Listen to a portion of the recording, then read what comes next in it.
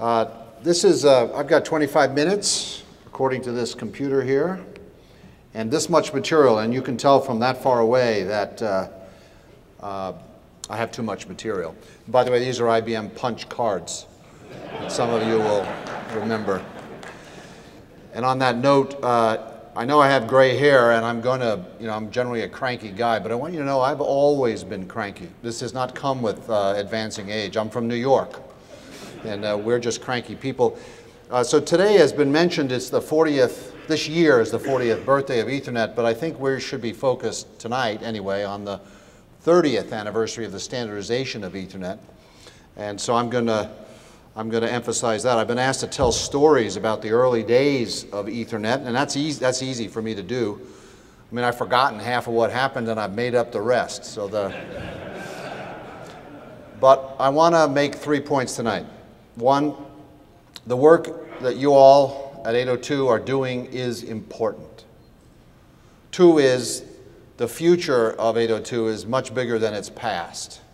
And three is this Ethernet brand that I'm going to describe a little later uh, works. And I urge you to stick with it in, as you go on to future challenges. That's the quick summary. And then uh, uh, I'll talk really quickly.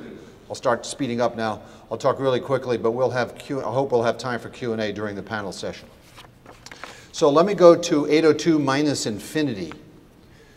MIT 1968, I took three courses, 6.70, 6.711, and 6.721. And under 6.721, I was to build, help, part of a team to build a computer, and I chose to build the memory. And instead of using core memory, I decided to build a memory out of an acoustic delay line. Does anyone know what an acoustic delay line is? Yeah, the bits sort of travel through this cable at the speed of sound through this cable. And it's a funny thing is the cable doesn't go from point A to point B, it goes from point A to point A. Because the purpose of it is not to transmit the bits through space, but instead to transmit them through time. So with the TTL MSI logic that we had, I built the memory, which consisted of a device to send a pulse down this cable and follow it with a stream of bits, which was the contents of the memory, being counted off by a counter and so on. So I'm here to admit that my first network device was a token ring. In 1970, uh, a little bit later, I was asked to put MIT on the ARPANET, the then internet, and built my second high-speed network interface, depending on how you count, for the PDP-610, also built out of MSI TTL. It ran, it could run up to 300 kilobits per second each bit was acknowledged. Ready for next bit, ready for next bit. That was, be, that was just a flow control mechanism. And the, um, uh, Bob Bressler there, he wrote the NCP, that was the predecessor of TCP protocols that ran on top of this hardware to connect this PDP-6 and later a PDP-10 to the internet. And then I wrote a telnet. You all know what telnet is? The first application of the internet was Telnet for logging into remote time-sharing systems. So I wrote a Telnet to run on Bob's NCP running on my hardware. And, uh, and then I wrote a survey program to survey the entire internet to see who else had successfully implemented Telnet. And then we had a, a, system programmers workshop where we invited everyone to come for a weekend and make their telnets work. And we had a big N by N matrix and we filled it in. And that was sort of an early uh, prototype of interop, where we, we actually tested not certifiable, you know, not certification relative to standards, but actual interoperability tested and then and we fixed all the bugs that weekend. So ARPA's goal was to connect mini computers across the country so people could share them and ARPA could save money, wouldn't have to buy a, a mini computer for everybody. Uh, and they knew that some of the universities had more than one, uh, had more than one computer, so each IMP packet switch had four ports. And so at MIT, we used all four ports. We had three PDP-10s and a Multics connected to this IMP. And I want you to know we were embarrassed over time because most of the traffic generated by these machines never left the building. We had basically built the first LAN accidentally And we, were, and we were embarrassed to report that traffic. We called it incestuous traffic because it, it never left the building. So then on to Xerox PARC in 72, and, and they asked me to do it again. So build another IMP interface, which, which I did. Uh, and then in 1973, we decided that we would use the Intel 1103 dynamic RAMs that were a hot new component, and we would build personal computers, and we would put one in every desk. And it got, got to be my job to uh, uh, network them, which is how the luckiest guy in the world got a problem that no one else had ever had, which is how do you network a building full of personal computers. So I bought a spool of coax, and started to launch pulses down to see what would happen. And they came out the other end, although rounded a bit. I noticed they were rounded. I put in square waves, and out came these sort of rounded things. And so while I was fiddling with this uh, coax, a guy, a, a, young grad student across the room, noticed how bad I was at soldering and stripping insulation. So Dave Boggs came over and introduced himself, and then uh, we built the first uh, internet uh, Ethernet uh, together. It was 2.94 megabits per second. It could go up to a mile and have up to 255 uh, stations on it. Uh, we then used that to drive the first laser printer from the PCs. And then we, we needed to send packets among multiple Ethernets from multiple buildings, so we invented a protocol called PUP, the PARC Universal Packet, which is very similar to, you might recognize it as IP if you want. So then in 1973, uh, the summer, uh, Professor Vint Cerf at Stanford held a seminar to design the next protocols for the internet. Uh, uh NCP was the current network control program was the current protocols and we needed a new set and those were called TCP IP. And it was during the summer of 83, 73 that the word internet began to emerge, but it began to emerge for two different reasons. Vint Cerf was interested in connecting an ARPANET in every country to the other ARPANETs in other countries on internet. I was interested in getting all these LANs connected to each other and up into the internet. So both of us love the word internet, and, and it, uh, I guess you've noticed it caught on. Uh, so we, we took the ideas uh, to build, to get Ethernet from the ARPANET, but also from the Aloha Packet Radio Network, which had a particularly clever access method, uh, uh, randomized retransmissions, which we adopted for the early Ethernet. I, if anyone's new here, we don't do that anymore on Ethernet, but we did in uh, 1973. And a lot of people have asked me, since Aloha Network is a packet radio network, why did we not go directly to Wi-Fi? instead of using coax and twisted pair and optical fibers, why didn't we just go right to Wi-Fi? And the answer was, is, was that the Aloha network radios ran at 4,800 bits per second and filled a, a six foot tall 19 inch rack. And Dave and I had 60 chips with which to build the entire Ethernet, actually 60 plus some extra ones because Dave uh, drilled and soldered some extra chips on the edge of the card to squeeze them in. So that's why we didn't go direct to Wi-Fi. Uh, we then, uh, I moved across the street to Xerox System Development Division where we took the Alto and started working on a workstation called STAR. We took PUP and we started working on a network protocol called XNS, Xerox Network Systems. And then we took Ethernet and we started working on a product called the Xerox Wire was our, the name of it. Uh, after working on that a few years, left Xerox without having shipped any products, I might add. They came out another year or two later. And I met a guy named Gordon Bell, who was then the, the VP. We're getting to the, we're getting to 802 any minute now. I know you're, I know you're frustrated, but it's coming. Here it comes. So Gordon Bell, uh, I was a consultant to him, and in February of 79, he asked me to build a LAN for DEC, Digital Equipment Corporation, number two computer company in the world, because he really liked Ethernet. And I declined for two reasons. One is I felt some loyalty to Xerox, and two, I had already built the best LAN I could. And so his wouldn't be nearly as good as Ethernet. And in that meeting, one of us, we don't know, remember who, decided, hey, why don't we just have DEC and Xerox work together on a network, Ethernet, and use it. So Xerox could use the Ethernet because it had DEC computers in its printers, and DEC could use Ethernet because it liked to have printers it could talk to from its minis. Why don't they work together? Then we found Intel, who had a chipset uh, idea so they could do the chips to make this.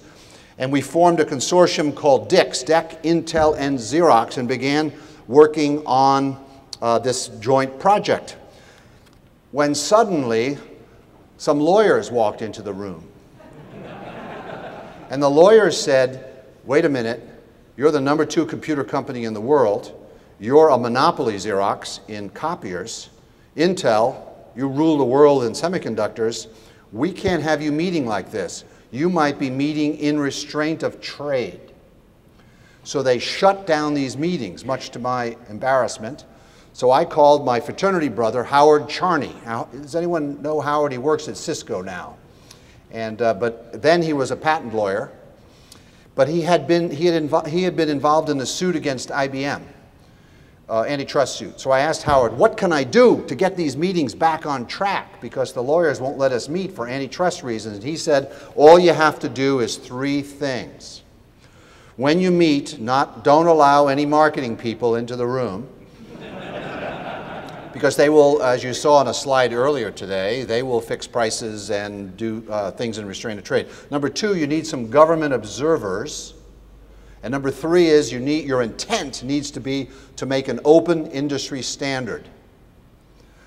How are we going to do that? Well, there was a precedent. IEEE 488 had just been standardized. The HPIB instrumentation bus had just been standardized by IEEE, and Don Loughry, may he rest in peace, had been in charge of that. So we contacted Don and others for advice on how to get a project started at IEEE.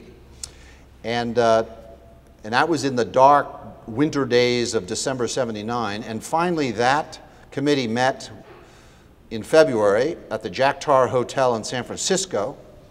And therein, or I'm a little vague about some details, but 802, that was the first meeting of 802. Yes, Jeff, I know it wasn't the first official meeting of 802. Yeah. Sam, another trouble with telling stories like this is there's people who might disagree with me about what actually happened here.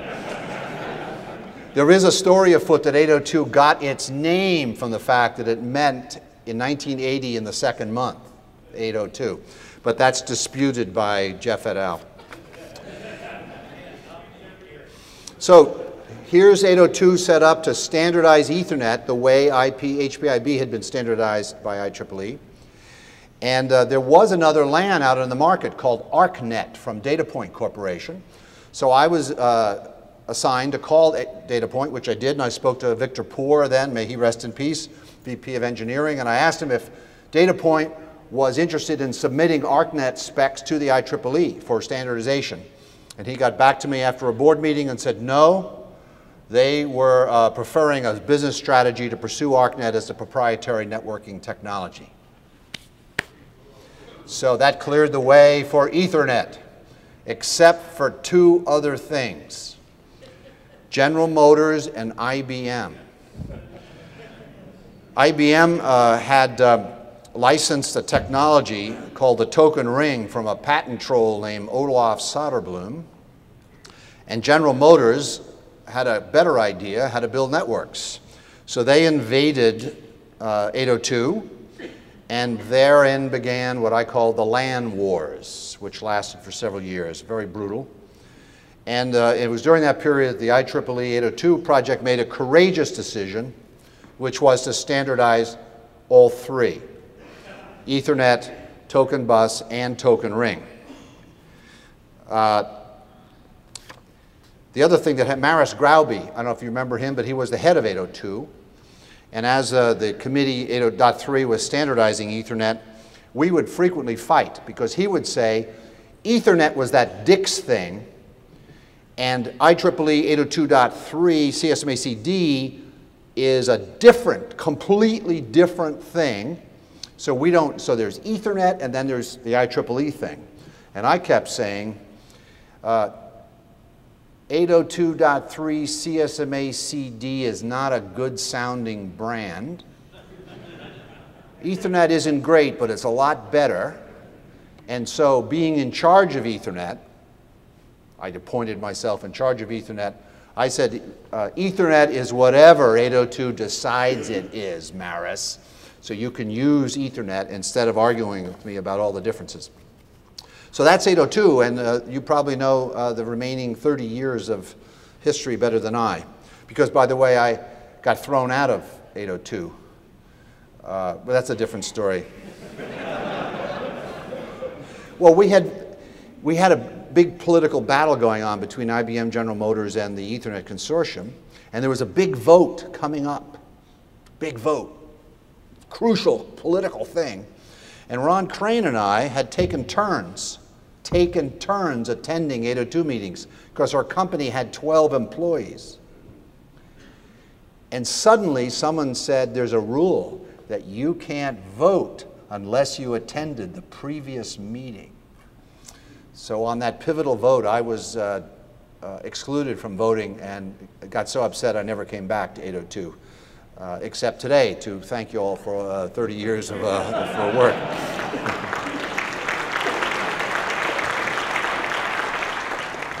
so now 802 faces the future, and uh, the principal project I would call the gigification of the internet. We've taken the internet from K's to M's. It's now time to take it from M's to G's. And the plumbing of the internet is now almost entirely Ethernet. And so you're in charge, basically, of gigifying the network. And I think 400 gigs is a great next step. But eventually, you're going to have to get to terabit. And I, I just can't wait. The terrifying Ethernet. But speed is not the only dimension along which one uh, innovates networks. Speed is only one of them. So there's speed, and then there's the medium of transmission and cost, and there's the reach, how far out it goes, and the mobility, how quickly the users can move around, latency, jitter, uh, uh, storage and computer now coming into the network. So how does Ethernet relate to the cloud and storage and, and the virtualization of the network, SDN? Uh, security, an unsolved problem of the internet to which Ethernet makes as far as I can tell, no contribution whatsoever. It, you know, that's the job of people higher up, right? Maybe we should reconsider that. They're not doing such a great job up there on security. And then there's reliability and then and also management. For example, in the ongoing battle between LTE and Wi-Fi, LTE is coming on strong, and I think one of the reasons is Wi-Fi's management is terrible and needs to be revised. And incidentally, LTE, do you know what LTE means? It doesn't mean long-term evolution. It means leads to Ethernet.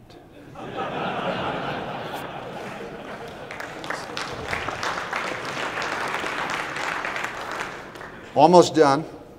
Three, there are big three uh, applications, challenges that we uh, Ethernet people need to confront aside from the general gigification of the internet. Uh, so we're going to take our video traffic that we're now carrying and our mobile traffic that we're now carrying and our embedded traffic that we're now ca uh, carrying, and we're going to disrupt education, healthcare, and energy. You know, we, got the, we got the MOOCs coming for education, and those need to be supported by interactive, uh, collaborative uh, television, video. And uh, Ethernet's going to have to carry that. In the case of healthcare, we need personal area networks for constant monitoring for the personal preventive system, uh, healthcare systems in the future. And then there's energy, the smart grid, which you've heard mentioned. And then tonight's special topic, which is transportation and particularly automobiles. So the automobile, my view is it's going to be electric, it's going to be self-driving, and it's going to be networked. But it's not going to just be networked with one network. It's going to have three networks, all of which are ripe for 802 intervention. One of those networks is the network inside the automobile, the car area network. That's sort of the, the easy one. Then there's the network that leaves the car and goes up to the internet to access Google and the cloud and traffic data and entertainment and so on. And then there's a network among the cars that is there's a parking space over here that you ought to know about, is the example I heard last night. So car-to-car -car network, car-to-internet network, and in intra-car network, all of which uh, 802 might uh, go after. Might, you might transcend the dots. The dots sort of fractionate 802, but maybe it's time to do a little more work up at the 802.1 architecture level to uh, take on this challenge of, of the automobile. So uh, let me finish with uh, the force, the Ethernet brand, how to approach these problems. And I think what we've learned over the last 30 years or 40 years is that Ethernet has become a brand. And it has these attributes that I'll enumerate, and that brand works.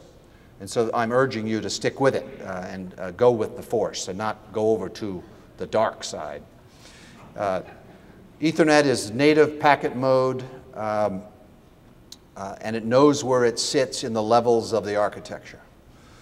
Ethernet is always built faster than is currently needed. Build it and they will come. I assure you, when we, went, when we put the first Ethernet on my desk at Xerox, the day before I had 300 baud, the next day I had 3 megabaud.